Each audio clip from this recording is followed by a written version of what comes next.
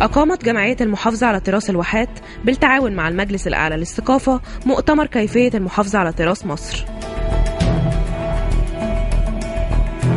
المحاضرة بتاعت النهاردة هتتكلم عن تراث الواحات الناس كلها يمكن فاكرة إن الواحات دي يعني صحراء آه، عبارة عن جمل وبلح وزيتون الحاجات الطبيعية اللي الناس ممكن تفكر فيها. لكن ما يعرفوش إن في تراث غني جدا في الواحات. الواحات عندنا خمس واحات في مصر آه، في الصحراء الغربية. منهم سيوة وسيوة دي فيها تراث مصري قديم من أيام الإسكندر الأكبر آه، معبد هيبز. وفي عندنا مجموعة من الآثار القبطية موجودة برضو في الأمهدة والغويطة ومعبد الزيان.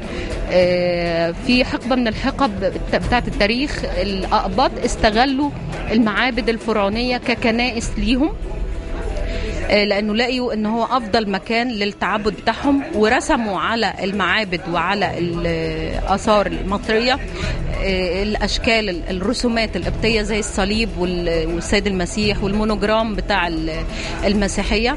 فبنلاقي كمان من ضمن الحاجات دي كانت منشأ ال- الديانة القبطية آه، ظهر في الواحات في نفس الوقت اللي ظهر في ظهرت فيه في جمهورية مصر العربية كلها. فكرة المؤتمر دوت إن إحنا لقينا فيه يعني الحقيقة منتشر كلام كتير جدا عن الصحراء في مصر والصحراء في مصر حوالي 96% من مساحة مصر وإن في مشروعات كتيرة جدا طموحة عند المصريين دلوقتي إنها تنطلق إلى الصحراء.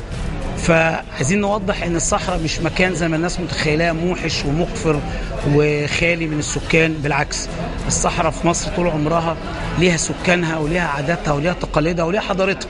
من حيث العمارة من حيث الأكل من حيث اللبس من حيث الغنى من غير.